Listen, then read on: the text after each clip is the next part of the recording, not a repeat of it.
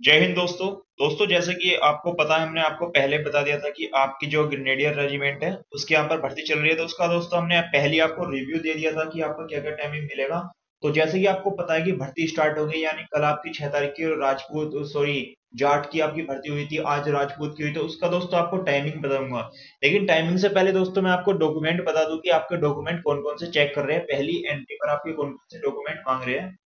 तो दोस्तों, वो डॉक्यूमेंट आपके मांग रहे हैं, पहले कास्ट सर्टिफिकेट है, फिर आपका जो है आपका जो रिलेशन सर्टिफिकेट है, वो और मार्कशीट दोस्तों, आपके तीन यहाँ पर डॉक्यूमेंट आपके चेक किए जा रहे हैं। पहले क्योंकि यहाँ पर कास्ट वाइज भर्ती हो रही है, क्योंकि जैसे कल छह तारीख है तो कल जाट की हुई थी तो पहले उसका कास्ट सर्टिफिकेट की जाट का सर्टिफिकेट है, उसके बाद आपका सात तारीख का आज हुआ था, राजपूत का तो राजपूत का आपका जो सर्टिफिकेट है वो। तो दोस्तों, उसके बाद दोस्तों, मैं आपको बता दूँ टाइमिंग के बारे में। तो दोस्तों टाइमिंग जैसे कि मैंने आपको ये वाली वीडियो में बताया था दोस्तों, आप नीचे करके देखो, थोड़ी चैनल पर जाकर देख लेना। आपको जो भी आपको सेम चीज़ें बताई थी दोस्तों, बिल्कुल सेम करेक्ट वो ही निकली है।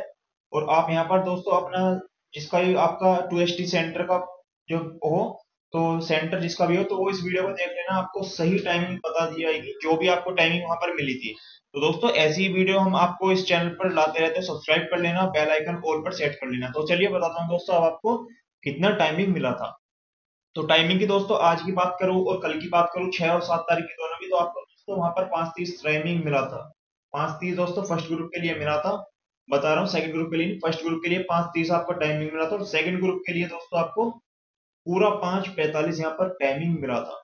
यानी कि आप कह सकते हो, आपको फुल टाइमिंग मिला है, यानी बहुत अच्छा टाइमिंग मिला है।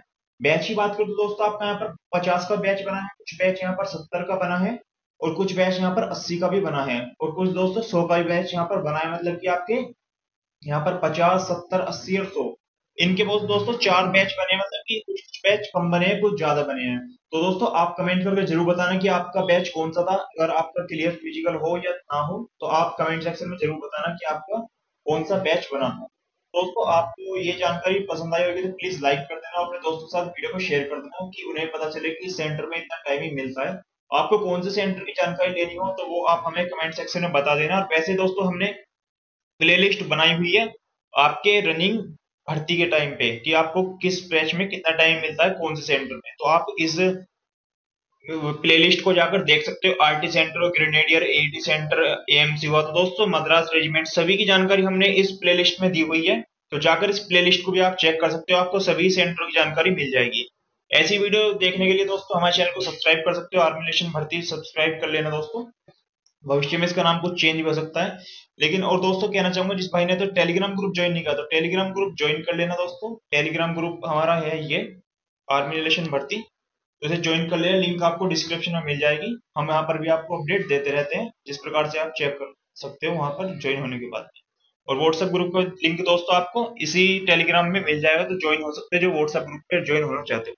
तब तक के लिए धन्यवाद। जय हिंद, जय भारत। मिलते हैं फिर किसी और नेक्स्ट अपडेट के साथ।